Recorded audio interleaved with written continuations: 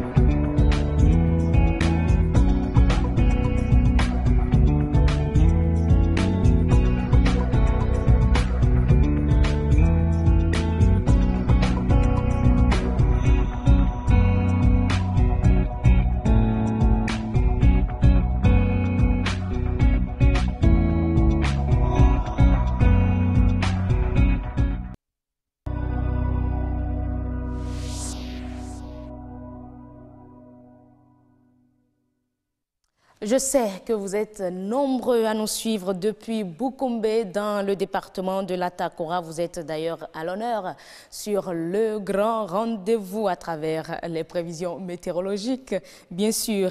Alors, de quoi va-t-on parler dans le grand rendez-vous de ce 30 août 2018 Comment évolue la production du Niébé au Bénin? Estelle Pazou va poser la question?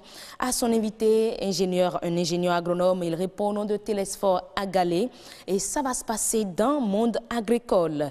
Nous recevrons sur ce plateau Jean-Baptiste Linsouci. Il nous revient.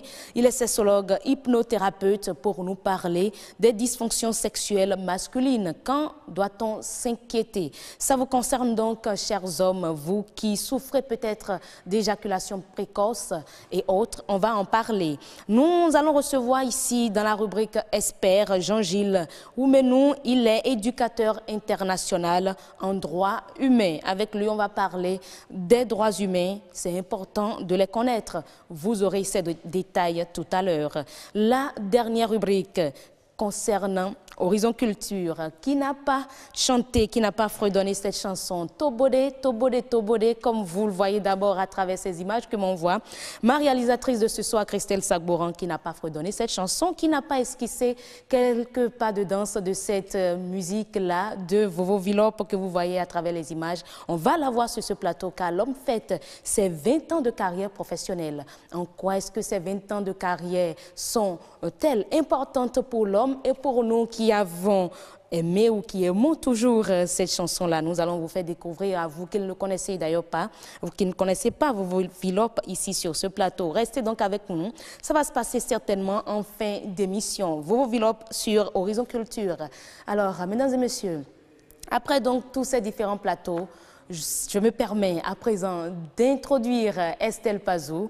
Estelle, bonsoir. Bonsoir à vous, heureuse d'annoncer. Vous êtes de l'autre côté de la rédaction pour nous présenter à 19h45 le journal du soir, le 19h45, n'est-ce pas? Absolument heureuse. Mais au menu, déjà, qu'est-ce qu'on peut retenir? Alors, euh, il a fallu la reprise de la répression pour que les conducteurs béninois cherchent à immatriculer leur moto. Résultat, la natte est saturée, la réalisation des plaques Melon. Eman Rodrigue Amégan est allé faire le constat. Les femmes vendeuses font-elles de la magie? Comment arrivent-elles à assurer la pérennité de leur commerce sans aucune notion préalable de comptabilité? Elles ont livré leurs secrets. Les délices du 229, l'événement a réuni plusieurs inconditionnels de la bonne bouffe. L'objectif, c'est de promouvoir les produits locaux. Et bien évidemment, tous les détails sont à suivre à 19h45. D'accord, Estelle Pazou. Avant 19h45, on va vous retrouver ici sur le plateau du Grand Rendez-vous, sur le plateau de Horizon Culture et de Monde Agricole précisément, n'est-ce pas? Oui, heureuse. Je vous rejoins tout à l'heure. Euh, tout à l'heure, tout de suite même, je dirais, parce que là, mesdames et messieurs, on va installer le plateau de Monde Agricole.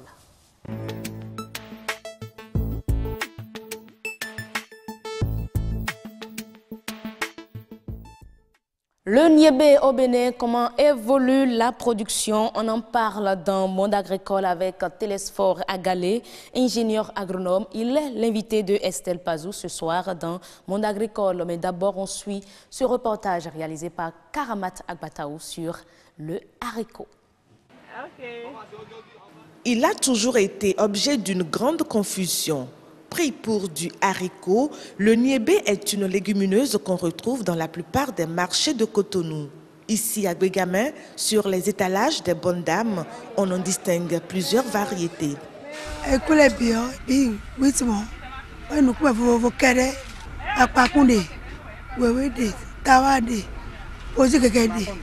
Sept à huit variétés de niébé, toutes différentes les unes des autres de par leur taille et surtout leur couleur. Ce produit agricole prisé des populations est cultivé dans plusieurs localités du pays.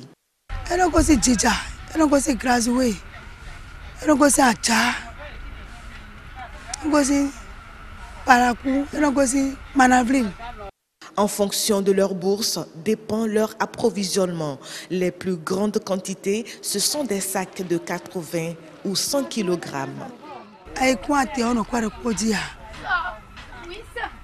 On quoi vous dire De non 30 000, de non 25 000. Et non 70 000, 60 000.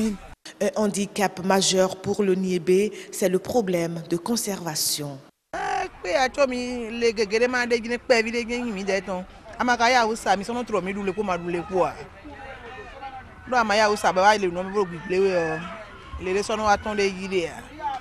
le niébé joue un rôle important dans l'alimentation de l'homme. Sa grande qualité nutritionnelle fait de lui un ingrédient de choix pour lutter contre la famine et la malnutrition. Merci à vous, Karamat Agbataou, Julia Kouaikou et Isaac Noudédo pour ce reportage et nous retrouvons Estelle Pazou ici dans Mode Agricole. Estelle, bonsoir à nouveau. De nouveau, bonsoir, Rose. Alors, euh, on parle du Niébé, comment évolue la production avec votre invité, Télésphore Agalé, qu'on ne présente plus, ingénieur agronome, qui est très souvent sur ce plateau.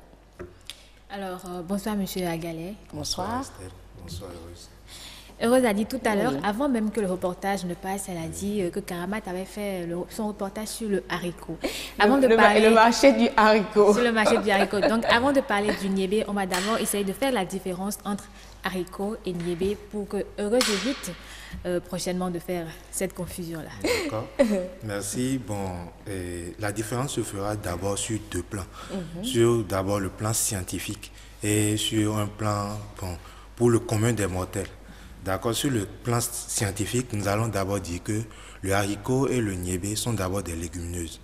Ils font partie de la même famille des fabacées et la différence se situe au niveau du genre, où le haricot est du genre Phaseolus et le niébé du genre Vigna.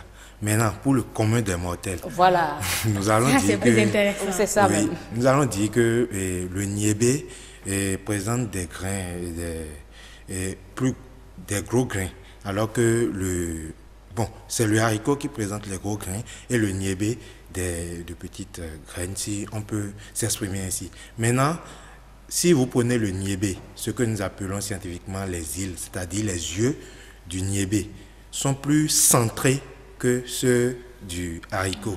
Et au Bénin, plus précisément, si vous voulez du haricot, c'est mieux d'aller chez les maraîchers que chez les producteurs au champ parce que bon, ça se récolte souvent et pas à maturité. C'est ça, nous coupons dans le riz et quelquefois nous disons le haricot vert. Ah. c'est ça. C'est ça le haricot Oui. Maintenant, ce que nous retrouvons sur le marché pour faire le les beignets et tout ça, c'est le niébé. Donc, c'est ce que je peux dire. Pour la précision on valait vraiment la peine.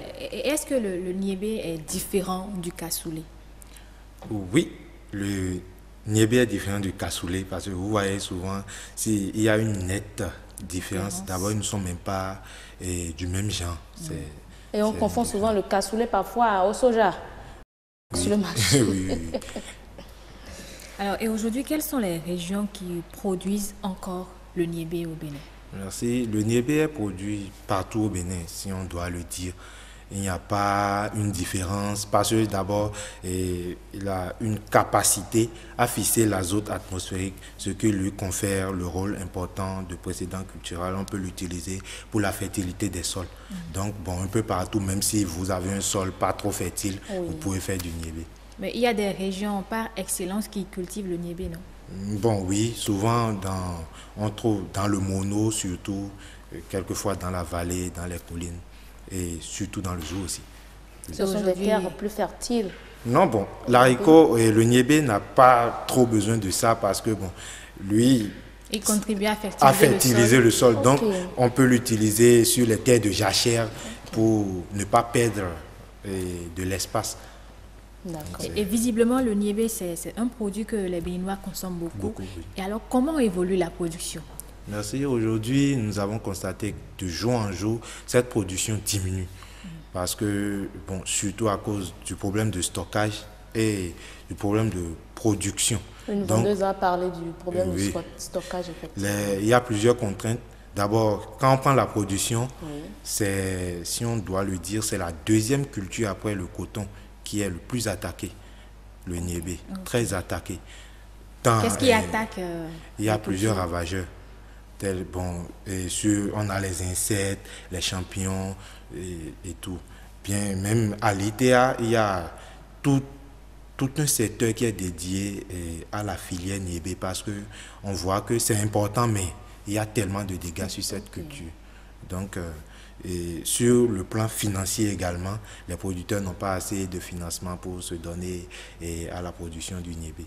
Est-ce que c'est la raison qui, explique que la production du niébé euh, décroît d'année en année? Surtout, c'est à cause des ravageurs. Parce que pourquoi produire pour que les ravageurs détruisent? Si euh, vous ne pouvez pas faire du bénéfice avec votre production, le mieux, ce serait de laisser. Et, dans ces conditions, est-ce que la demande, ne serait-ce que la demande locale, est-ce qu'elle est satisfaite selon vous? Non, la demande n'est pas satisfaite parce que d'abord, on était à un niveau et ça diminue. Donc, au fur et à mesure que ça diminue, euh, le marché n'est pas satisfait. Et, à, part le problème de ravageur qui n'est pas de nature à, favoriser la production croissante du niébé, est-ce qu'il y a des semences chez nous au Bénin? Il y a plusieurs structures telles que l'INRAB qui est l'ITA qui se donne eh, à la, eh, à la production de certaines semences certifiées qui donnent un peu plus de rendement, c'est-à-dire des, variétés, des variétés améliorées que les variétés qu'on avait. Ils se donnent à ça, ils le font. Maintenant, le problème se situe surtout au niveau de la vulgarisation de ces variétés. Le producteur, quand il produit cette année, il fait un peu de réserve et il remet l'année prochaine. Alors que quand... C'est la réserve qui sert de semence. De semence. Maintenant, quand les structures telles que l'INRAB font la production de ces variétés, bon, quelquefois, c'est vendu. Donc, le producteur, lui, préfère prendre ce qu'il avait et continuer que d'aller mettre de l'argent encore à acheter d'autres. Donc, c'est ce que je peux dire. Et, aujourd'hui, que, que, pourrait gagner le Bénin à davantage euh, encourager la production du niébé? Ah, le Bénin a beaucoup à gagner. Déjà, il faut noter que le niébé fait partie des filières et mis dans le plan stratégique de développement agricole. Bien que c'est dedans, bon, on ne sent pas encore un engouement, mais vous savez, aujourd'hui, si le Bénin encourageait cette production, on peut vous savez, le paysan n'a pas besoin de protéines animales. Il a déjà le niébé qui, qui est riche en protéines. Donc si on peut lutter contre la famine et tout avec le niébé et pour une, une nutrition équilibrée également, pourquoi ne pas produire du niébé et trouver des moyens pour augmenter la production et favoriser et la mise sur le marché de ce produit? Ce serait vraiment un plus pour et le développement de notre pays. Le niébé, selon vous, est-ce que c'est un produit exportable? Bien sûr, si la demande est, à l'intérieur est satisfaite, pourquoi ne pas exporter? Parce que on dit déjà que actuellement, actuellement ça, ça s'exporte déjà? Non, il faudrait que nous puissions satisfaire. satisfaire. la demande à l'intérieur et les excédents maintenant aller vers une exportation. Donc pour le moment, bon, je ne pense pas, c'est pas trop les, femmes dans le reportage ont évoqué le, problème de, conservation. Et vous, en tant qu'ingénieur agronome, est-ce que vous avez des astuces pour aider ces femmes-là à, conserver de façon naturelle le, le, Merci. Il y a beaucoup de choses qui se font. Déjà, vous pouvez, pour stocker le niébé, le ravageur le plus dangereux au stockage pour le niébé sont les bruches on les retrouve souvent et dans le niébé. Ils détruisent totalement Déjà ce sur que vous euh, euh, le, le, terrain non, sur le terrain, c'est le, c'est un lépidoptère. On l'appelle Maruca vitrata, qui est très dangereux, qui bouffe les feuilles et les gousses. Maintenant, quand vous ramenez ce niébé à la maison et que c'est mal stocké, il y a les bruches qui attaquent. C'est ça, nous appelons socosine. Exactement, c'est le C'est différent des charançons Bon, il y a, les bruches sont différents des chansons, c'est différent. Mais on, retrouve ces deux ravageurs dans, le, stock de Niébé. Donc maintenant, pour beaucoup de choses se font déjà. Les gens utilisent des bidons. On met le Niébé dans le bidon et on ferme hermétiquement. Pourquoi? On empêche le ravageur de respirer mm. et on l'étouffe, ce qui fait que il n'arrive pas à émerger dans le stock. Mais il y a l'humidité quand même. Oui, mais au fait, quand vous manquez d'air, vous ne pouvez pas vivre, même si vous êtes un insecte, vous avez quand même besoin de l'air. Et le niébé qui est déjà récolté, est-ce qu'il peut arriver à respirer euh, sans, sans, sans un peu d'air? Quand on ferme hermétiquement le bidon, est-ce qu'on ne fait pas du mal au niébé? Exactement. Au fait, quand vous voulez le faire, il faudrait le faire avec un bidon totalement sec. C'est-à-dire qu'il n'y a pas de l'eau dans le bidon, ce qui ne va pas favoriser une transpiration et de la graine et amener les problèmes tels que les champignons, l'émergence des champignons. Donc, si vous ne voulez pas utiliser les bidons, les gens utilisent des silos. Bon, c'est de, des je vais dire, c'est un genre de bidon aussi, hein, mais c'est métallique au fait. Maintenant, on essaie de mettre un système d'aération pour ventiler l'intérieur du stock. Donc c'est un peu ce que les gens font. D'autres, bon, ils mettent les extraits de Nîmes, ils mélangent et les gousses dans les extraits de Nîmes, ce qui tue aussi les ravageurs. Donc c'est quelques exemples que nous pouvons donner pour aider les producteurs à plus stocker et là, on produit plus. Oui, si le problème de stockage est réglé, la production va prendre. Merci Monsieur Agalet d'être passé sur le plateau. Heureuse me fait de grands yeux pour me dire que c'est la fin de mon agricole. C'est parce qu'on me fait de grands yeux de l'autre côté aussi en fait. Merci beaucoup Estelle Pazou. Donc ce sera tout pour Monde Agricole de ce soir. On va se retrouver le mercredi. Le mercredi prochain pour un autre numéro de Monde Agricole. Monsieur Agalé, merci également à vous. Bonne soirée. Merci, heureuse et à bientôt. À bientôt. et là, mesdames et messieurs, on va installer maintenant notre expert. Oui, on va parler des droits humains. C'est important de les connaître. L'expert tout de suite.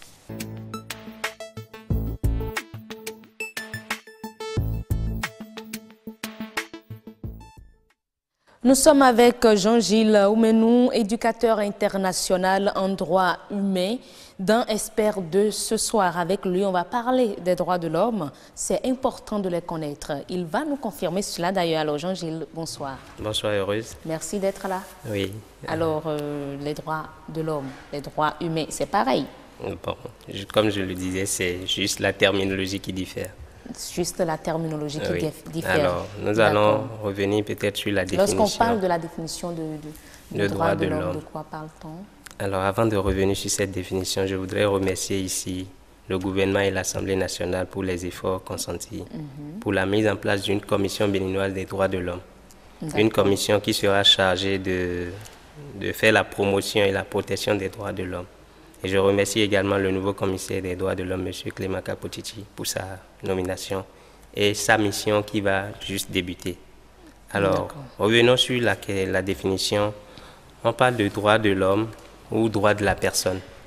C'est, disons, la même chose. Néanmoins, on parle, euh, on voudrait choisir droit de la personne ou droits humains pour dire que les droits ne sont pas seulement pour les, les hommes ou pour les femmes, parce qu'on a tendance à dire droits de l'homme. Mhm. Mais en réalité, c'est des droits qui concernent tous les êtres humains. Donc, euh, certains préfèrent la terminologie droits humains ou droits de la personne. Et c'est un concept selon lequel tous les êtres humains possèdent des droits universels et inaliénables, quelles que soient les, les autres lois en vigueur dans leur pays ou d'autres facteurs tels que les coutumes, la religion ou la nationalité. D'accord. Donc voilà un peu ce qu'on met dans la définition de droit de l'homme. En gros, c'est l'universalité et l'inaliénabilité de ces droits, quel que soit là où l'être humain se retrouve, le pays. D'accord. Et il est important de les connaître, n'est-ce pas? bien sûr. En quoi cela est important? Pourquoi? Alors, les droits humains sont essentiels car ils reconnaissent l'importance de la dignité humaine. Et également, ils protègent des valeurs inhérentes de la vie, telles que le respect de l'être humain. Il est important aussi de les connaître parce qu'ils assurent la protection fondamentale de la personne en temps de guerre comme en temps de, en temps de guerre comme en temps où il n'y a pas la guerre. Et les droits humains sont garantis par des traités internationaux ou régionaux tels que la DUDH, qui est la plus célèbre des droits de l'homme, la Déclaration universelle des droits, de l'homme. bien sûr. Il y a la CDE, la Convention relative aux droits de l'enfant. Mhm. Il y a la CEDEF, qui est la Convention relative à l'élimination de toutes les formes de, discrimination à l'égard de la femme. Et la PIDESC, le PIDESC. D'accord. Voilà, et, vous mhm. Voilà un peu ces traités qui réunissent les droits de l'homme parce que c'est des traités, soit régionaux ou internationaux. Internationaux. Mais est-ce que vous avez l'impression que ces droits sont connus dans notre pays, les droits de l'homme? Ces droits sont connus, mais pas tous. Euh, moi, je vais peut-être reprendre la question pour dire, selon vous, mhm. est-ce que les droits, pour qui les droits humains sont contraignants? Pour qui les droits humains sont, contraignants, oui. Et pour qui sont-ils contraignants? Alors, c'est pour le gouvernement en premier lieu, parce que c'est le gouvernement qui, selon, la, selon les théories classiques de politique classique, c'est l'appareil étatique qui détient le monopole de la violence légitime. Hmm. Donc c'est pour ça que les droits humains limitent son pouvoir. Cependant, vous savez que vous, en tant que euh, citoyenne, citoyenne, vous ne pouvez pas lancer un caillou dans votre propre maison pour, sous prétexte de vouloir tuer un animal ou quelque quoi que ce soit. Mhm. Qu'est-ce que je veux dire par là? Euh, L'État, en ratifiant les traités, savent qu'il a des obligations euh, positives et des obligations négatives. Quand je parle d'obligations positives, l'État sait qu'il doit assurer par exemple le droit au logement, le droit à une vie décente. Et par exemple d'obligations négatives, l'État sait qu'il ne doit pas, par exemple, maltraiter ou censurer les médias ou encore faire un procès, assurer un procès équitable à quelqu'un. À quelqu'un. Exactement. Ou ne pas mettre un citoyen en prison sans un jugement. Alors, l'État sait qu'il a toutes ses obligations en ratifiant le traité.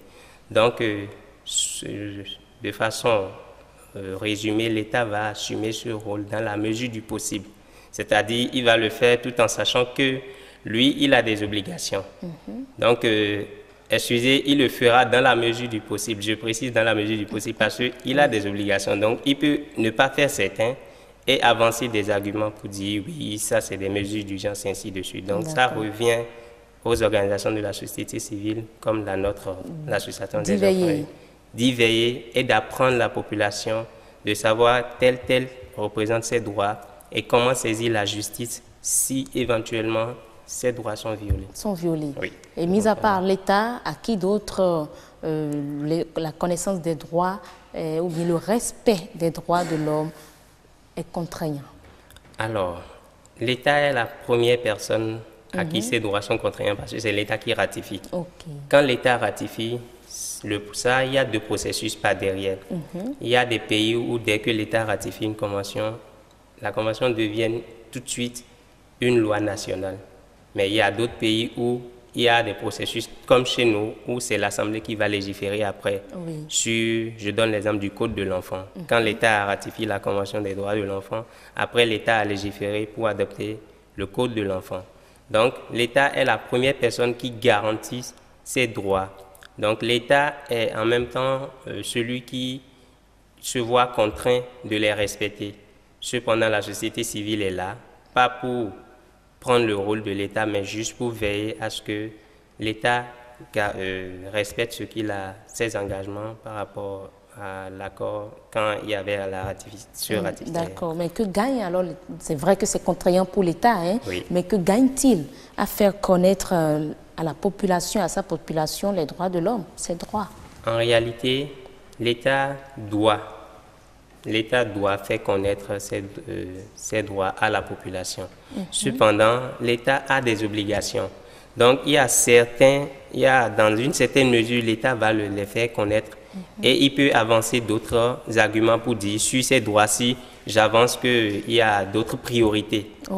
Donc, c'est pour ça que je vous disais que la société civile est là pour veiller à ce que l'État respecte tout ce qu'il y a dans l'engagement de ces droits-là.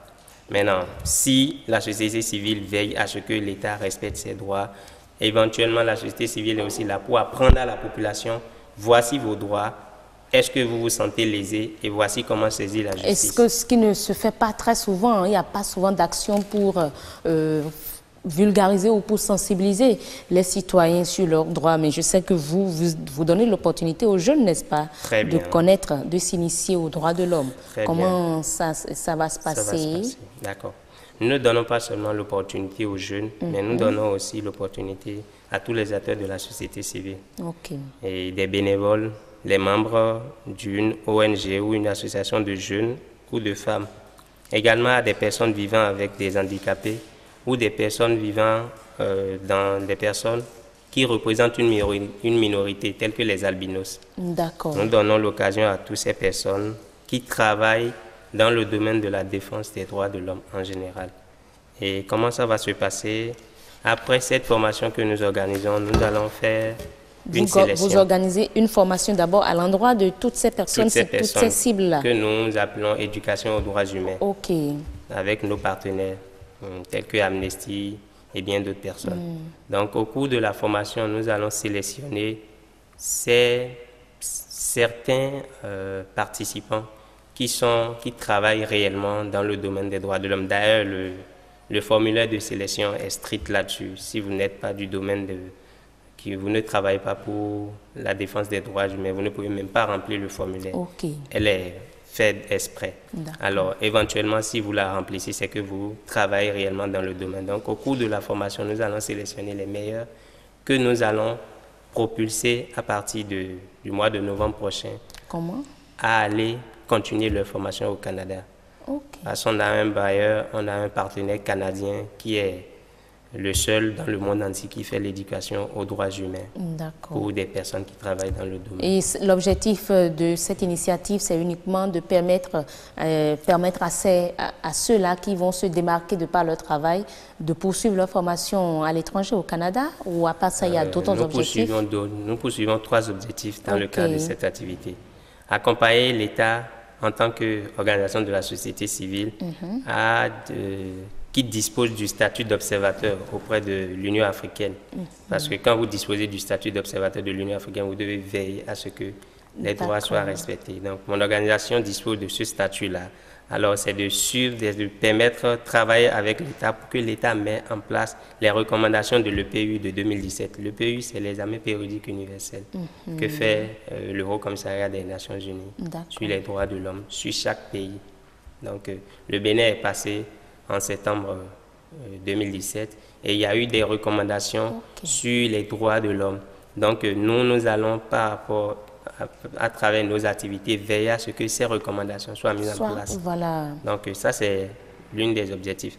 On va aussi veiller sur les droits de l'homme, en particulier sur les droits de l'enfant, grâce aux activités d'éducation aux droits humains. D'accord, c'est certainement, euh, ça fait partie des droits certainement les plus bafoués, les droits des enfants dans notre société. Surtout, il y a, quand vous prenez par exemple les recommandations, vous allez voir que la commission qui est chargée de veiller sur les droits de, de l'enfant mm. a, a, insisté sur beaucoup d'aspects qui sont vraiment bafoués au pays. Donc, euh, notre dernier objectif, c'est de sélectionner ces participants après avoir fait, qu'ils puissent continuer et revenir travailler avec nous dans le domaine. Et devenir certainement éducateur international en droits humains comme vous. En droits humains, bien sûr, mais pas forcément. Ils, seront, ils auront la charge de veiller aussi, de faire la veille sur les droits, exactement, sur les droits humains. Les droits humains dans notre pays. Voilà. Le, temps qui nous est imparti tire à sa fin. Il y a encore d'autres questions, mais n'empêche les jeunes, ceux qui sont dans, dans ce domaine-là, qui luttent pour les droits, le respect des droits humains, ont suivi, ils seront certainement intéressés. Qu'ils viennent à BB24 pour avoir plus d'informations, comment participer et tout. Nous allons leur mettre ces informations à disposition. Merci pour, pour déjà l'initiative. Merci, Merci beaucoup. Bonne soirée à vous. Je vous remercie. Oui. Alors, euh, après donc notre expert, mesdames et messieurs, nous allons installer le plateau de nature et bien-être. Et là, euh, vous êtes beaucoup plus concernés, chers hommes. Un instant, monsieur, mais nous, on va le temps de recevoir euh, euh, l'insouci Jean-Baptiste, sexologue hypnothérapeute dans Nature et Pour parler des dysfonctions sexuelles chez les hommes.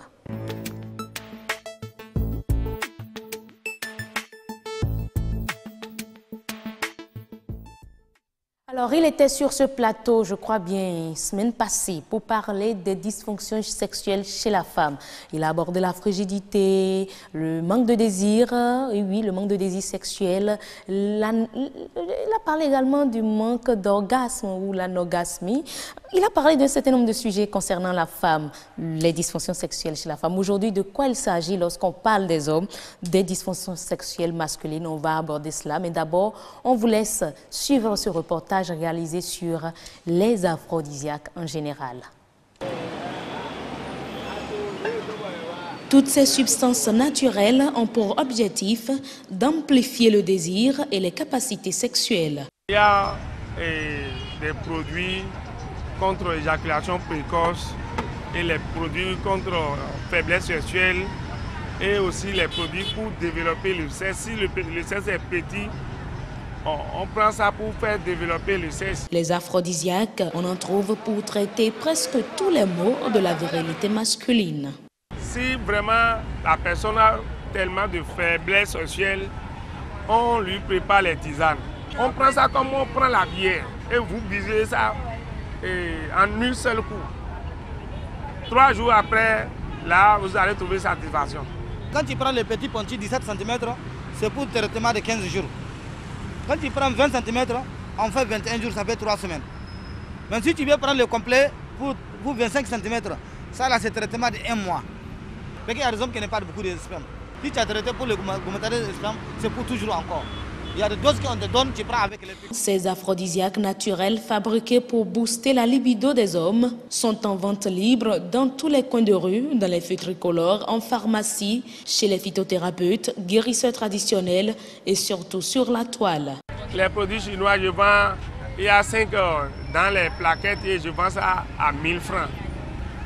Donc on prend un comprimé par semaine. Je paye petit prix là, petit pénis là, à 15 000 pour le massage sans, sans faiblesse sexuelle massage seulement. Oui, 20 cm, je peux prendre à, je prendre à 20 000, 25 000, sans produit PCC, massage seulement. Les 25 cm, je vais prendre même 30 000, même 40 000, sans produit sexuel. Celle qui veut complet aussi, dans leur prix aussi, c'est différent. Pour mon bénéfice, par jour, c'est aller à 1500 à 2000. C'est ça là que je fais pour nourrir ma famille. Donc euh, je ne peux pas dire que l'activité là, ça ne va pas, non. Un commerce qui se développe, preuve de la récurrence des dysfonctions sexuelles dans la société.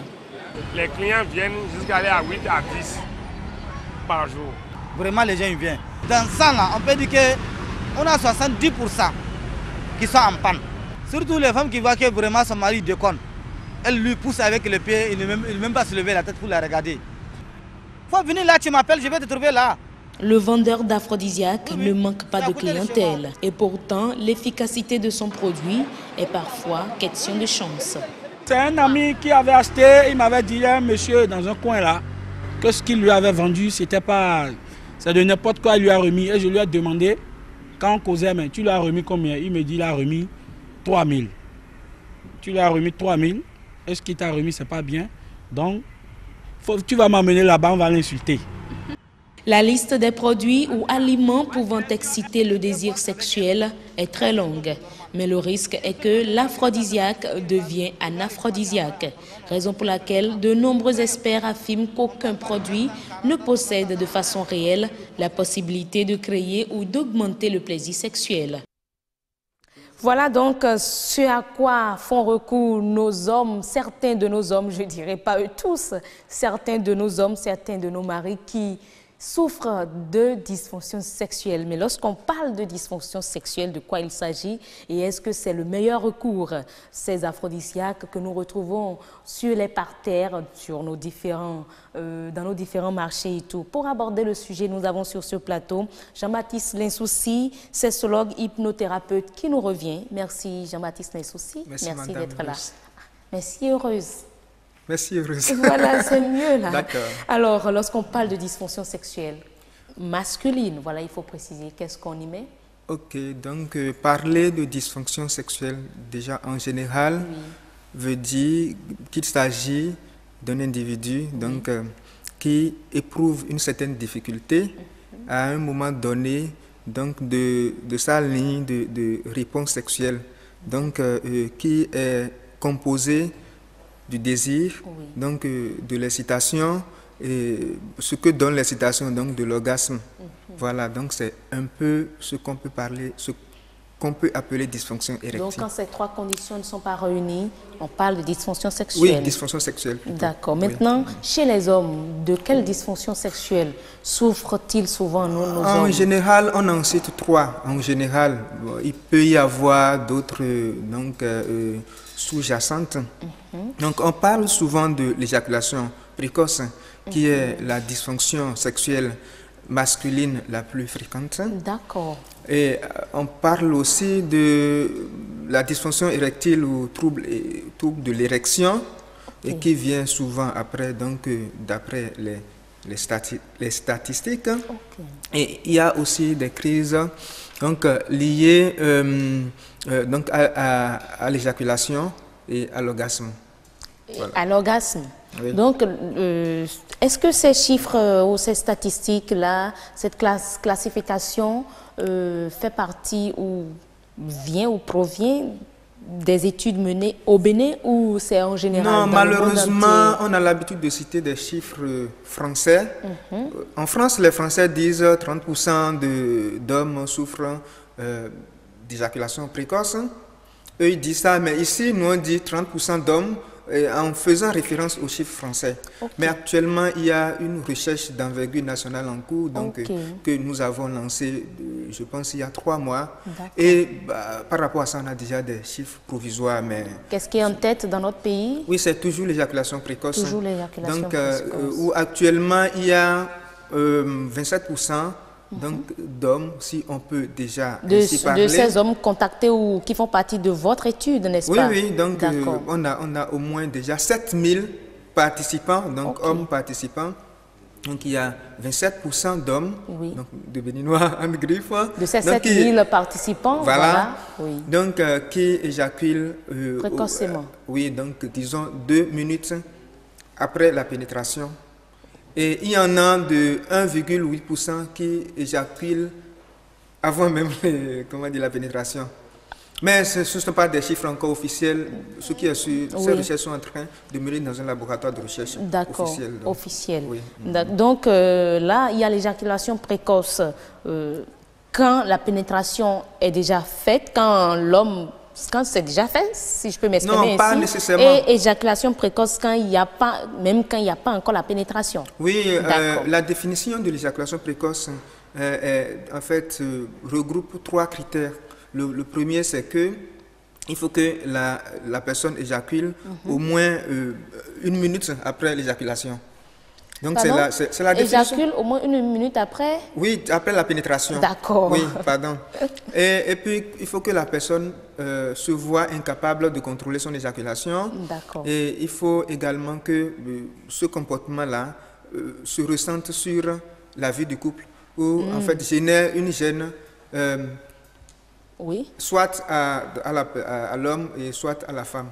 D'accord. Mm. Donc là, on peut dire deux minutes après pénétration, s'il y a éjaculation, on peut parler d'éjaculation oui, précoce. officiellement, mais euh, la définition est, essentiellement fondée sur euh, l'insatisfaction. Donc, quelqu'un peut éjaculer une minute après et être uh-huh. euh, satisfait.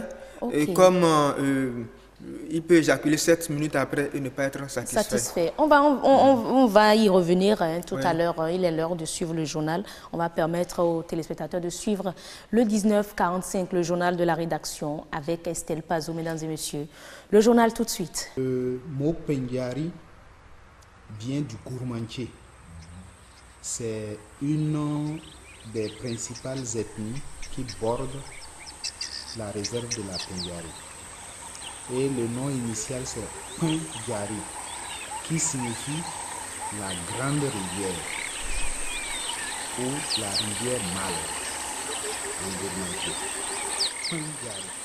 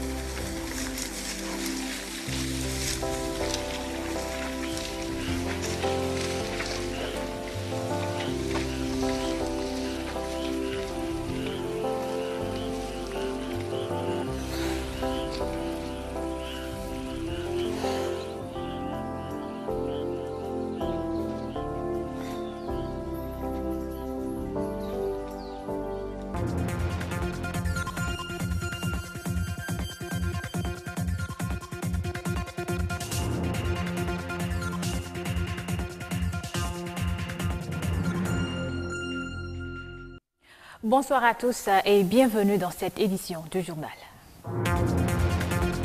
Depuis la reprise de la répression, les demandes d'immatriculation des motos ont explosé. La NAD connaît une très forte affluence, constat dans ce journal.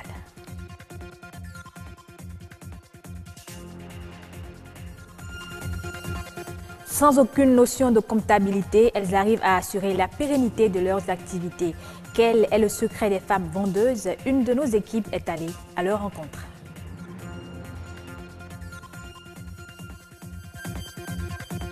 Et puis, les délices du 229 est plus qu'une simple page virtuelle. Esther Gaba a réussi le pari de réunir les Béninois autour des produits locaux. Voilà pour les titres de ce journal.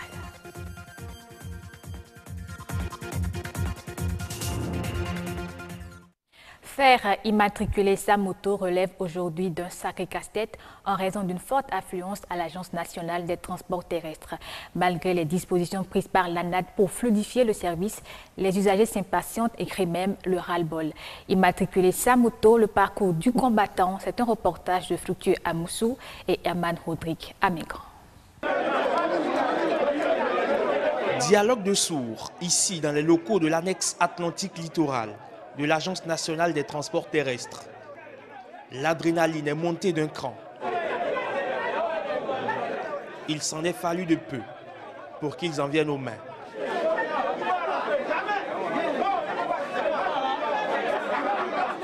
Un vacarme inhabituel dû à la répression ces derniers jours des véhicules à deux roues sans plaque d'immatriculation.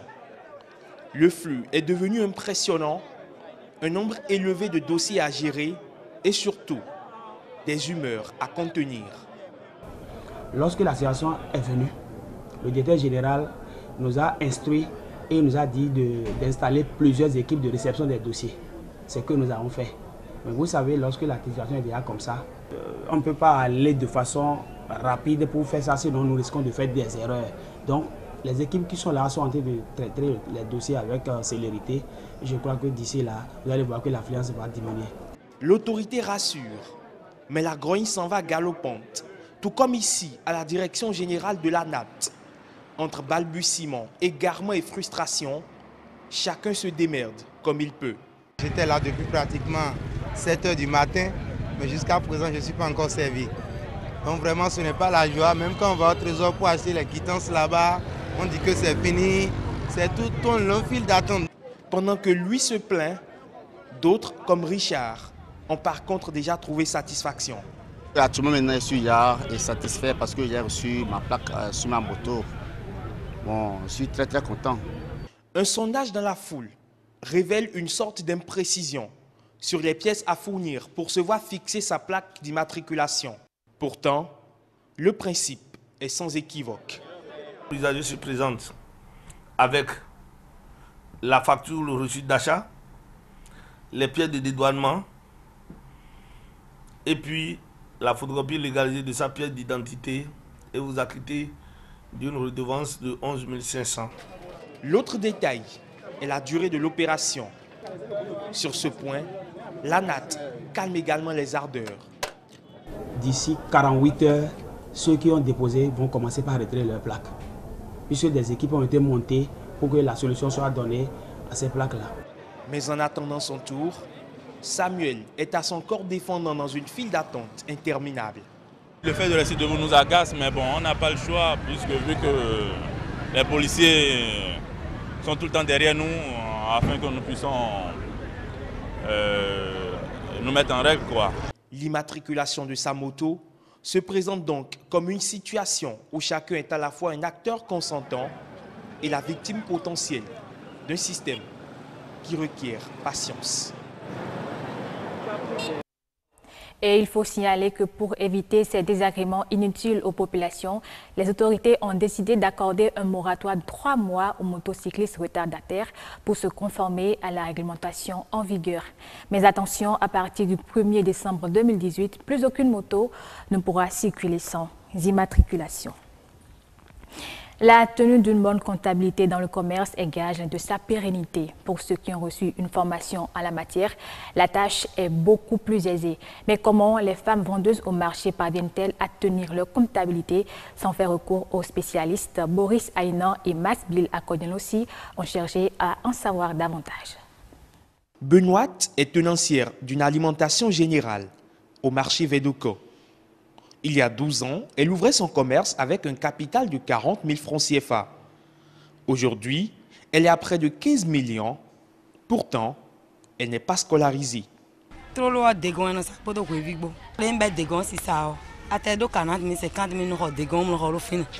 J'ai commencé mon commerce avec la vente de crevettes et de frottins.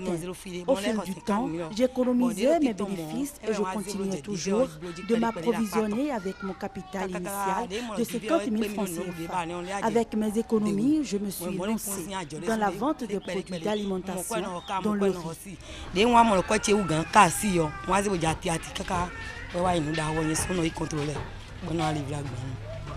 Comme elle, de nombreuses autres vendeuses n'ont pas évolué dans les études ou n'ont jamais fréquenté l'école, ce qui ne représente aucun handicap pour elles, puisqu'elles arrivent à tenir à jour la comptabilité de leur commerce.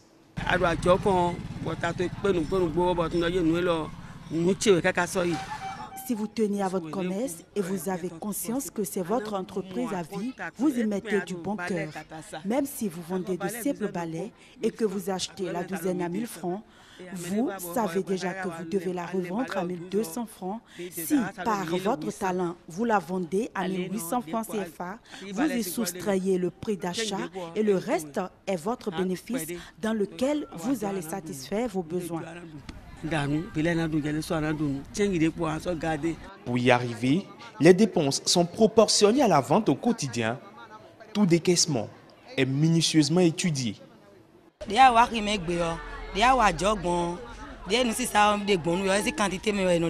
Quand vous venez au marché, vous tenez compte de votre chiffre d'affaires pour engager des dépenses ou des tontines. Si vous prenez beaucoup d'argent dans votre commerce, vous allez l'écrouler. C'est de la manière dont vous tenez rigueur à la gestion de votre commerce qu'il fleurit.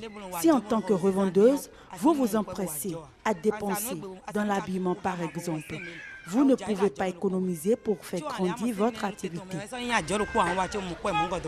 De ce fait, elles parviennent à faire fleurir leurs activités sans emprunt. D'une simple page Facebook virtuelle donc, les délices du 229 est devenu réalité. C'est un concept de Esther Gaba qui n'a qu'un seul objectif, promouvoir les produits locaux. L'événement a réuni plusieurs amoureux du Made in Bénin et vous allez voir, les mets béninois sont divers et variés. Christelle Femi à.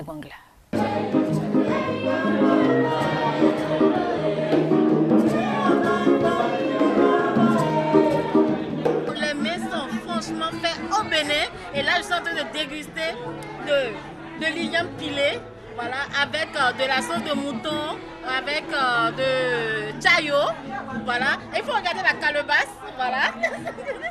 C'est purement africain, voilà, et purement béninois. C'est nous, le 229. Les mets sont bien préparés et j'espère que ça va contribuer au développement de notre pays. C'est l'un des objectifs visés par les organisateurs des délices du 229 un événement qui a rassemblé des invités de diverses catégories sociales autour du consommant local. Le but est de donner une référence identité à la gastronomie béninoise, une concrétisation du concept Made in Bénin. L'initiative euh, a pris point de départ depuis un an. J'ai créé ma page Facebook où je fais la promotion de tout ce qui est consommation locale, de tout ce qui est produit locaux. Alors, un an après la création de ma page, j'ai voulu quitter le virtuel pour le réel, pour euh, faire découvrir euh, à tous les fans de la page les produits qui sont promus sur la page. La particularité, c'est de montrer aux Béninois qu'ils peuvent organiser des, des réceptions, des événements avec uniquement les produits produits ici. Au-delà de l'aspect culinaire, les délices du 229, c'est aussi la contribution à la croissance économique du pays. Ceux qui lavent les plats là, ce n'est pas de l'emploi. Ceux qui servent, ce n'est pas de l'emploi. Ceux qui préparent, ce n'est pas de l'emploi. Ceux qui font de la, la promotion du restaurant, ce n'est pas de l'emploi. Et d'une manière ou d'une autre, c'est déjà contribué donc à faire révéler le label Made in Benin. La révélation du Made in Benin n'est pas sans la qualité stricte et continue des produits proposés aux consommateurs. La qualité, c'est l'amélioration continue des performances. C'est vrai, nous avons fait beaucoup d'efforts. Il y a 10 ans, le Bénin ne pouvait pas se servir dans un restaurant. Aujourd'hui, par la grâce de Dieu, voilà le Bénin qui se sert dans un restaurant. C'est louable, c'est très bien. Mais nous ne devons pas nous dire que nous sommes déjà parvenus. Nous devons maintenant nous reprendre en charge pour chercher, mais le petit plus qui va nous faire évoluer. La qualité est donc le meilleur atout des produits Made in Bénin. À ce prix, promouvoir le local va cesser d'être un simple slogan. Le continent africain est actuellement au cœur d'une bataille de positionnement de la part des grandes puissances internationales. L'offensive a été donnée par Theresa May qui a débuté une visite le 28 août en Afrique du Sud. Dans son avion, une délégation d'hommes d'affaires et des acteurs financiers. La visite va se poursuivre au Kenya et pour les premiers engagements annoncés, la paix, la prospérité et le développement mutuel sont évoqués.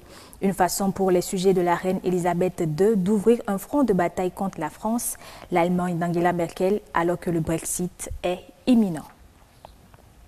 La Banque africaine de développement et l'Organisation des Nations unies pour l'alimentation et l'agriculture se sont engagés cette semaine à mobiliser 100 millions de dollars, soit 55 milliards de francs CFA pour l'agriculture africaine.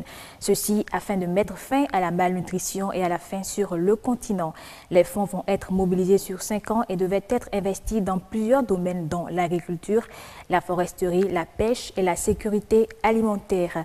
Outre ce financement, la FAO devrait aider la BAD a réalisé son programme Nourrir l'Afrique en fournissant une assistante technique dans les domaines de l'intensification et la diversification d'activités agricoles durables. Fin de ce journal, merci de l'avoir suivi et bonne suite des programmes sur BB24, la chaîne du développement.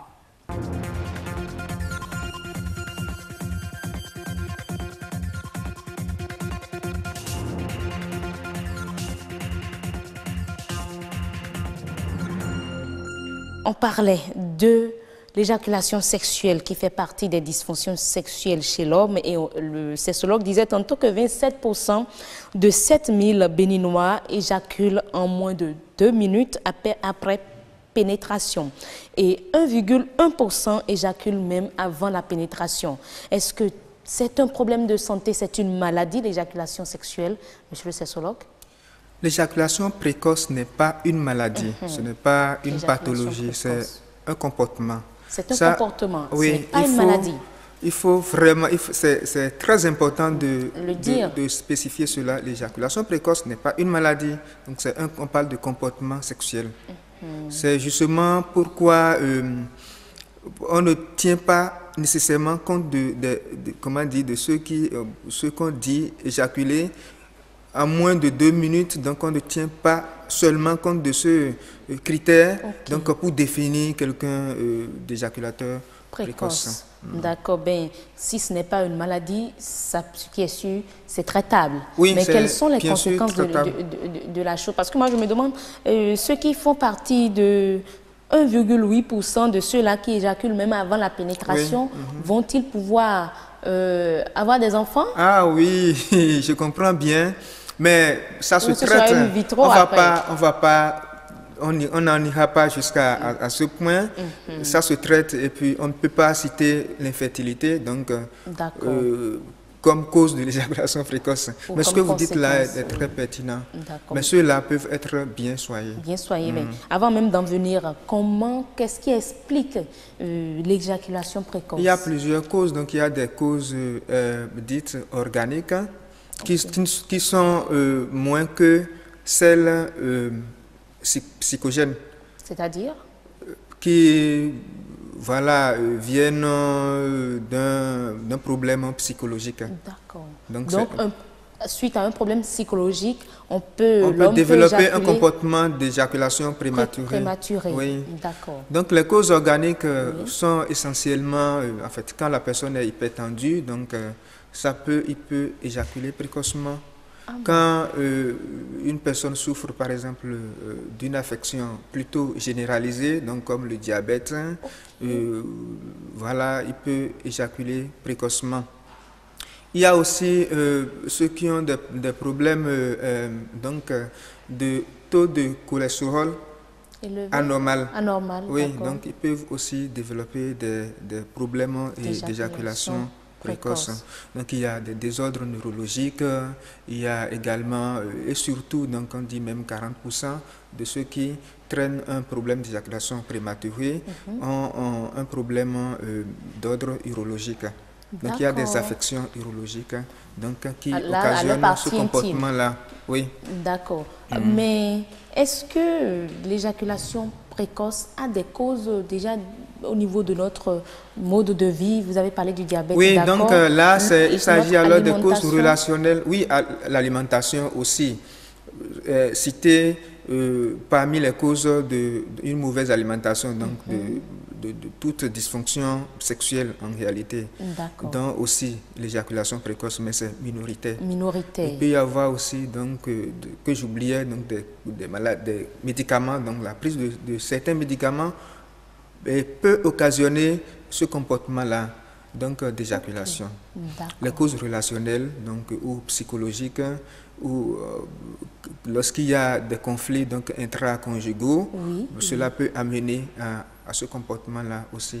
Donc il y a le stress, l'anxiété, ou même parfois euh, lorsqu'on a changé un partenaire, donc d'un partenaire à un autre. D'accord. Mais est-ce que certaines femmes peut-être vous diront que bon, ce n'est pas de l'habitude hein, de leur homme d'éjaculer précocement, mais à des moments donnés, ça se remarque. Est-ce que le fait de laisser tomber l'acte sexuel, de ne pas avoir les rapports sexuels pendant un temps et de reprendre cela peut amener l'homme à éjaculer précocement? Oui, justement, il y a euh, plutôt le fait de, oui, de ne pas de diminuer la fréquence de l'acte sexuel peut occasionner ce comportement aussi. Mm. Parce que même déjà dans la prise en charge de l'éjaculation précoce, on peut dire aux patients de de varier sa fréquence euh, donc euh, d'actes sexuels, donc la fréquence de, des rapports sexuels. Plus ça, c'est, comment dire, plus les rapports sexuels sont fréquents, moins, la personne éjacule vite. Vite, raison pour mm. laquelle ce n'est pas une maladie. Oui. Mm. D'accord. Mais je, je, ne sais pas si je peux poser la question, mais quand même, les hommes qui éjaculent précocement, ça, ne se remarque pas comme ça. Oui, on peut pas, on peut pas, ça ne se dessine pas sur le visage. C'est sexuel que ça se passe. Oui, souvent, euh, souvent on n'en parle pas, donc c'est parce que on a honte en réalité quand l'éjaculation est précoce et surtout quand euh, la femme euh, manifeste, voilà, une gêne donc, euh, après ce comportement d'éjaculation. D'accord. Mais si en deux minutes, cet homme-là vous dit qu'il est satisfait, après avoir éjaculé qu'il est satisfait, est-ce que c'est également... C'est justement pourquoi nous disions dans, au cours de, en fait, dans la définition que le plus important, c'est la satisfaction. Donc c'est vrai que l'OMS définit l'éjaculation précoce comme, euh, en fait, par rapport à la durée et après par rapport à la, possibilité de d'exercer une un certain contrôle donc sur l'éjaculation mhm. donc pas contrôler l'éjaculation donc sur l'éjaculation donc c'est sur l'excitation d'accord et euh, donc, mais on met beaucoup plus l'accent sur la gêne. Voilà, donc il peut y avoir une femme qui n'a même pas besoin de, de, de, plus d'une minute euh, pour être satisfaite ou bien euh, une femme... Pour satisfaire son homme. Oui, donc pour, pour, puisque généralement quand l'homme éjacule, il s'il n'est pas gêné, si la femme ne manifeste pas cette gêne-là, il est content parce qu'il a, il a l'orgasme. D'accord. Donc le problème se pose lorsque la satisfaction n'est pas constatée, n'est pas ressentie. C'est ça, donc euh, lorsque une gêne s'installe euh, dans le couple. Donc voilà, chers hommes, il faut comprendre qu'après après un acte sexuel, après deux minutes maxi, vous éjaculez et que vous êtes satisfait, ce n'est pas un que problème. Votre femme, et que votre, femme, aussi est satisfaite. satisfaite, a pu quand même atteindre l'orgasme. Oui, hmm. on peut parler des, on peut là on ne parle pas d'éjaculation précoce. Oui, mais d'autres me diront qu'une femme ne peut pas euh, jouer deux minutes, en deux, minutes, mais un rapport sexuel, donc on parle de rapport sexuel euh, complet, il y a un rapport sexuel, euh, ça fait partie de, En fait, ça commence déjà avec le, préliminaire. Voilà. Et il est reconnu que euh, la femme est beaucoup plus à même d'être satisfaite, donc d'atteindre l'orgasme par la stimulation du clitoris. Du clitoris, d'accord. Et donc, vous voyez quelqu'un qui, une femme qui est déjà satisfaite pendant la, stimulation, ou pendant les caresses et tout et tout, n'a pas nécessairement besoin de, de 20 minutes de pénétration de longue durée avant d'être satisfaite. C'est très subjectif en réalité. Voilà, on n'a pas pu, vous l'auriez constaté, on n'a pas pu aborder les différents types, les trois types hein, de, dysfonction sexuelle euh, masculine. On s'est beaucoup plus attardé sur l'éjaculation précoce parce que c'est ce qui sévit dans notre société. On aura le temps de la voir s'il est encore au pays pour aborder les autres dysfonctions sexuelle chez l'homme et surtout parler du traitement du traitement de l'éjaculation précoce. Oui, parce qu'il y a un traitement précis pour N'est-ce pas? On, aura, on aura le temps de l'aborder. Là, là, c'est terminé. On a déjà dépassé les 15 minutes. Merci déjà à la réalisatrice Christelle Savouran pour nous avoir permis de dépasser légèrement le temps qui nous est imparti. Maintenant, maintenant, mesdames et messieurs, vous également, monsieur les soucis, vous connaissez euh, Vovo Villop, la chanson Tobode, Tobode, Tobode. Ah oui, c'est une ancienne chanson. je eh connais bien, je, je, je, pense que je connais, oui. Tobode, Tobode, L'artiste fête, c'est... Tobode. voilà.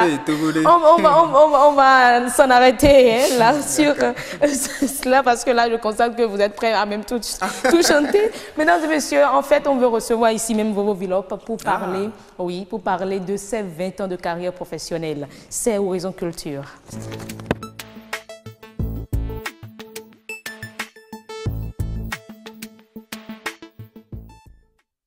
Alors, Vovo Villop est dans nos locaux. Vous qui ne le connaissez pas, vous allez le découvrir. Et vous qui le connaissez déjà, vous allez le redécouvrir. Qu'est-ce qui s'est passé en 20 ans Il nous dira tout. Mais d'abord, voici un extrait de ce fameux clip, je dirais. Tobode, Tobode. Tobode. tobore tobore tobore tobore tobore oje poitata tobore tobore tobore tó jẹ́ pé ń tọ́ta. Tobore tobore tobore. Polino ya baita suton yo bore bodo aswemi ton manyi wanwe mi me edu koton nu onje zon po. Foni ton po se pou non han paton bejeke mune onu si do eyi mede non pang pang teme ha ti akana fode we anapon ayaba e nuyo e we site oyimobo kọnọ de àwọn gbogbo sẹ́ẹ̀tì bíbẹ́ blónú dénú mi ònù fọmẹ́sù tẹ́nu lóye ní ìwọ̀n nù mi. Òyànnú dàgbé de tẹ́ de tẹ́ náà yàn wọ́n pẹ́ sọ́lé. Bọ̀yìnà mọ́ bọ́nà màjọ́lọ́ eyín mẹ́ẹ̀ẹ́dẹ́ tán náà ibo kọ́nà dàmọ́ tó kọ́ mẹ́nu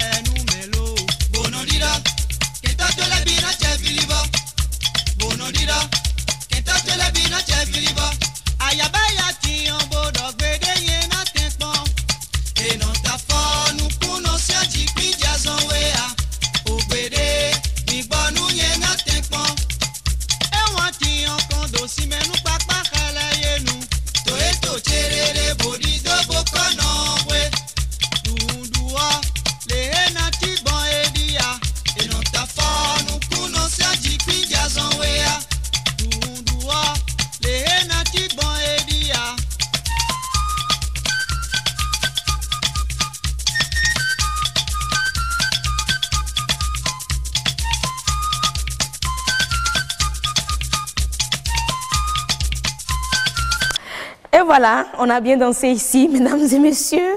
Euh, il y a de ces Bokono-là, un Bokono Dida, oui, dans la cité. Monsieur Vovo Villop, merci d'être avec nous. Bonsoir. C'est nous qui vous remercions.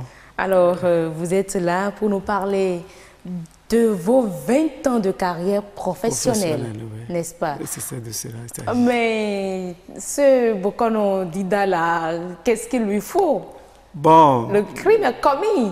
Il est même revenu sur le lieu du crime. Nous allons demander aux juristes de faire leurs analyses Eh. leur pour quand même punir soit Ayaba, soit le Bokono. Non, moi, je ne vais pas punir Ayaba. Je vais juste lui demander si- d'aller régler le problème, peut-être, comme vous le disiez, sexuellement, Sexuellement, avec son homme. je pense que c'est mieux. Et c'est sûr à C'est mieux, c'est tout. Alors, euh, c'est qui Vovo Villop Euh, à l'état civil, on m'appelle Vaudou Père Vincent de Paul. Euh, pour euh, les fans, c'est. Vovo Villop. C'est Vovo. Vaudou Père. Vaudou Père, c'est le VO de Vaudou Père qui a été doublé, c'est ça qui donne Ok. Vovo. Vovo, d'accord. Et Vincent, c'est le VI. Paul, là, j'ai Inversé. inversé, c'est tout. Ah, d'accord. Donc là, ça fait Vovo Villop. D'accord, d'accord. Ben, lorsqu'on parle de Vovo Villop, on ne, je dirais pas, on ne connaît pas tout. On ne connaît que Tobodé, c'est ce que moi je sais. Ah, je me demande si en 40, en 20 ans de carrière, l'artiste n'a fait que Tobodé? Bon, vous savez, jusqu'à présent, eh, tout le monde pense que j'ai fait seulement. En fait, l'album même ne s'appelle pas. Le nom de le titre de l'album ne s'a- ne s'appelle pas Toboré. Donc il y a même un album. Oui. Y Moi, je album. pensais juste que c'est un single, Tobodé là. Non, bon. c'est sur cet album, il y a, il y a six titres. Ok. Il y a Tonton Beau, il y a Mhm. Materi, Materi, Loco. Ah il y a oui, Not- il y a j'entends ça, Il y a oui. Notiovi. Et le morceau est politique, les Michiodia. Ah oui, c'est vrai, c'est Bobo Villop. Voilà. C'est vrai, autant pour moi, Ah. c'est bien Bobo Villop. Mais en fait, avec le message passé dans Tobodé et tout ça, vraiment pris, c'est ancré quoi là-dedans. C'est raison pour laquelle on ne reconnaît l'homme que par To- Tobodé. Absolument. Mais les, les 20 ans, ça va se passer comment? De Bon, carrière euh, les 20 ans de carrière, je pense que c'est. Il y a- il y, a plusieurs panels. Mhm. Il y a euh, la soirée de gala qui va se euh, passer pratiquement le dimanche prochain à Caravi. Dans Ce- ce- ce dimanche-là? Ce dimanche 2. Ah bon Ouais. Et à Caravi, euh, dans la cité à Conville. Ok, à Euh, Conville. Oui, oui. D'accord. La gratitude, plus précisément. D'accord. Maintenant, après ça, il y aura une tournée nationale en décembre. Pour euh, quel objectif? L'objectif, c'est de, de, de parcourir pour que les, les autres contrées aussi savent ma musique. D'accord. Il y a un autre vaste projet qui concerne... Ma musique s'appelle Wea. Ça y est, la danse. Wea, Wea, mhm. ça y est, la danse. C'est dansé par les Widu. Les là, ça... D'accord.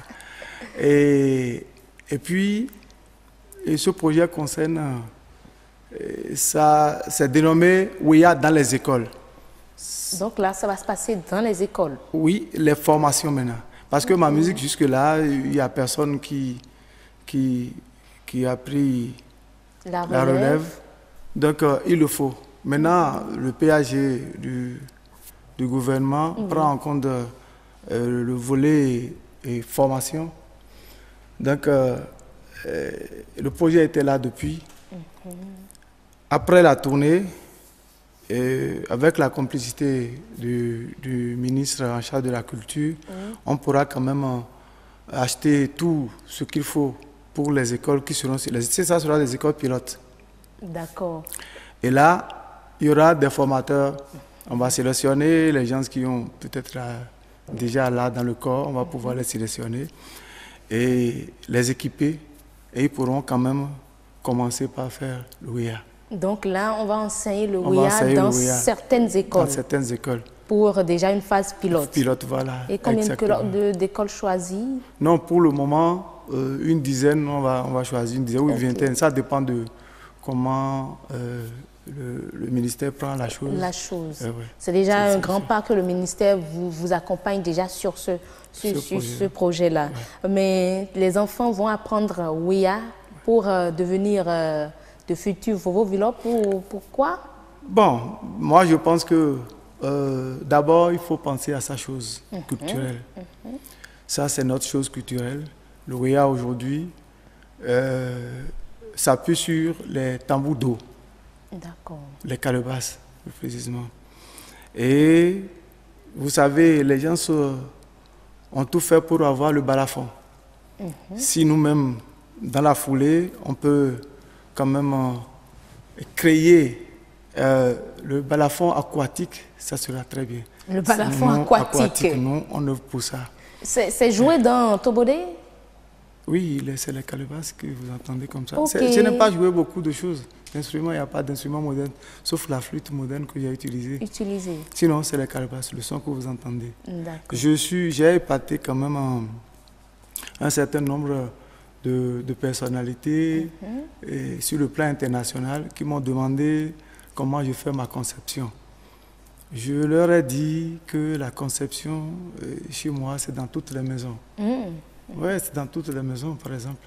Dans quelle maison tu ne passes euh, Et tu, ne verras pas de calebasse. C'est vrai. Dans toutes les Non seulement ça, mais tu auras un petit qui, quand tu commences par chanter, pourra te donner le temps. Mmh. Exact. Mmh. Donc ça a commencé par là. D'accord. Quand j'ai dit ça, il s'est fâché, il dit, bon, nous sommes collègues, je ne veux pas lui expliquer. non, mais en fait, euh, tout le monde est chose chez nous. Hein. N'est-ce pas? nous, avons la musique dans le corps. Dans le corps. Mais pourquoi, ou je, je, dirais, 20 ans de carrière, qu'est-ce que vous avez gagné de cela? Qu'avez-vous bénéficié en 20 ans de carrière? Bénéficié de, de, vos fans? Bon. Bénéficié du Bénin? Du Bénin, moi je pense que euh, l'État m'a décoré. Mhm. L'État au moins reconnu euh, cette qualité. D'accord. À part ça, j'étais euh, au Coran en 99, où j'ai eu la chance de rencontrer les, grands dinosaures de la musique. Je veux parler de Michael Jackson? Ah, oh, ah c'était en son temps C'était en son temps. Waouh Ouais, je l'ai vu à trois reprises, euh, à l'aéroport, à la soirée de gala et puis au stade de Johannesburg. Mm. Eh bien, il faut dire que la musique, bon, par exemple, je suis quelque part ou caché peut-être dans une buvette ou mhm. dans un coin, tranquille. Je, ne veux, je veux me reposer et là, quelqu'un passe et dit ben, celui-là, il ressemble à vous, il y a quelque chose. Si j'étais épuisé, peut-être que j'allais mourir, mm. cette personne allait me sauver. c'est l'essentiel pour moi. Ça, c'est vraiment important eh de se faire remarquer euh, partout où on est. Voilà. Et ça, à travers la musique. La musique.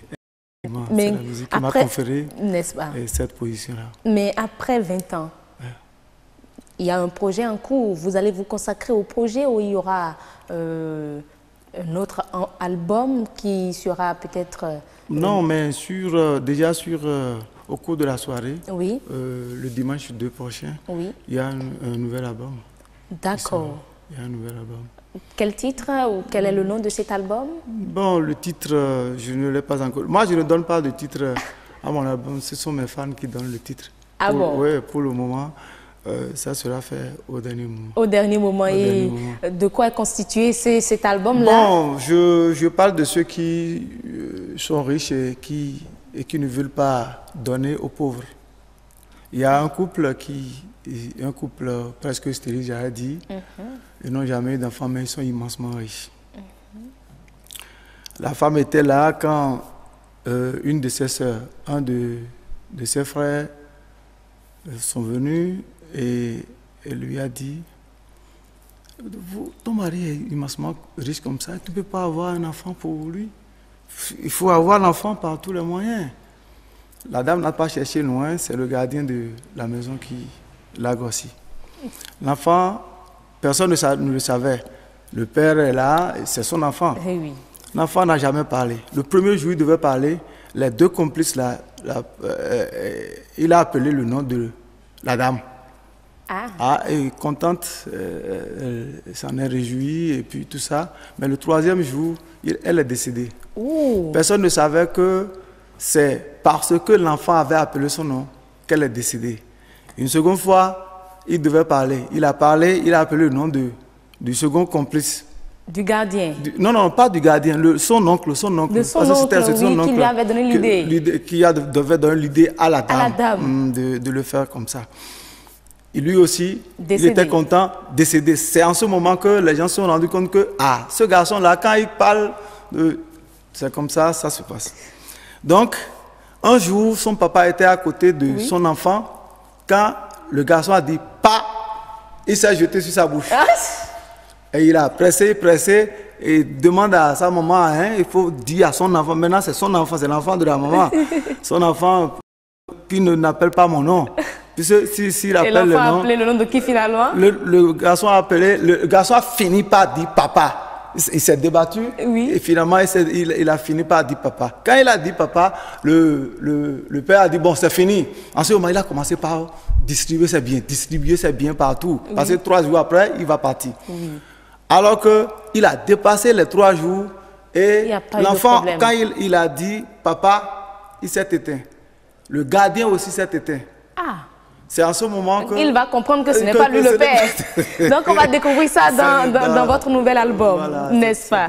Merci beaucoup Vovilop, merci d'être passé sur ce plateau. Donc si je, je, je résume très rapidement, mesdames et messieurs, euh, Vovilop célèbre ses 20 ans de carrière professionnelle artistique euh, sous le haut parrainage du ministre en charge de la culture. On remercie déjà le ministère pour l'accompagnement et ça va se passer ce 2 septembre, ce 2 septembre au Palais de la Gratitude 6 à, 6 dans la cité à Conville. Donc, c'est à Bomekalavi, à Zopa, à 14h30 précise. Donc, toutes les informations sont données, mesdames et messieurs. Le, spectacle finit à 18h30. Précise. Précise. Il n'y a, pas de, a pas de retard. De retard. Ah, non, non, il n'y a pas de retard. Ni de débordement. débordement. Merci beaucoup. Vous l'avez donc compris, mesdames et messieurs. Faites donc massivement, massivement le déplacement pour le soutenir le 2 prochain, le 2 septembre prochain. Et ce sera d'ailleurs tout pour le grand rendez-vous. Non, mais avant nous avons ActuWeb et la météo. D'abord, je vous propose ActuWeb.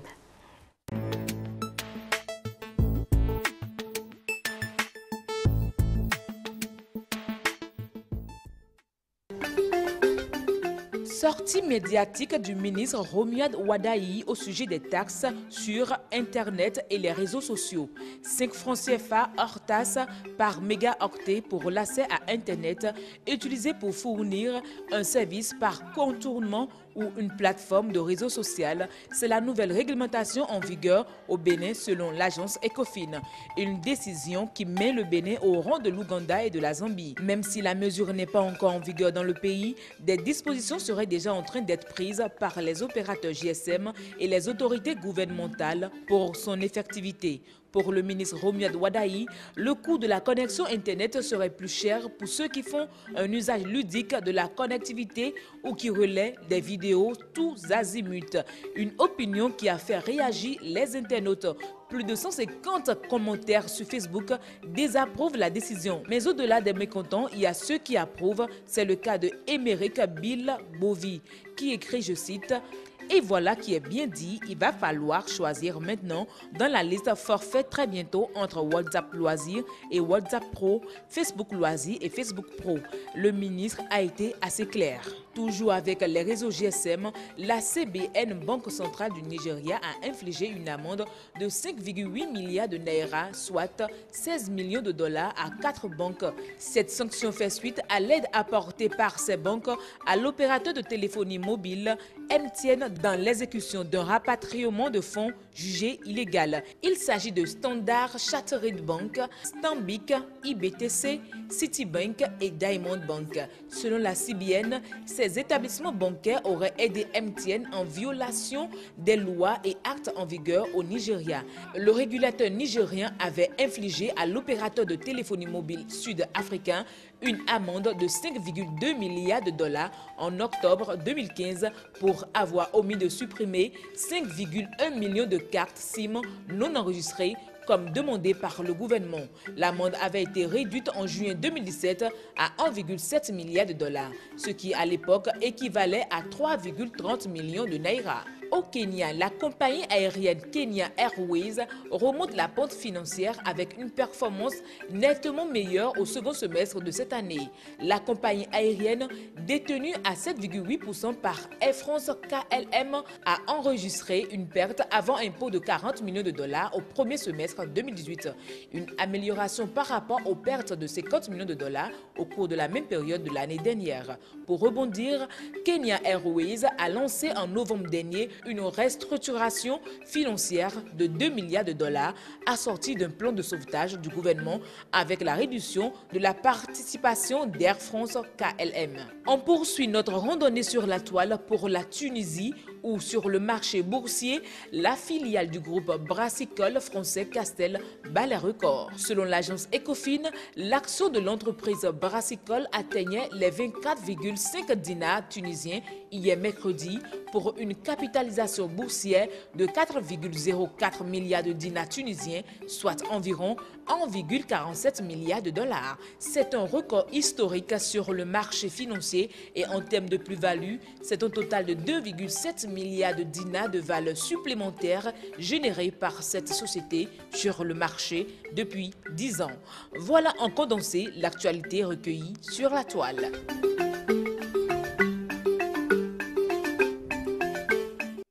Merci à vous, Yasmine Damanta, pour euh, les informations recueillies pour nous sur la toile. On va certainement vous retrouver demain, c'est sûr, à coup sûr, on vous retrouvera demain.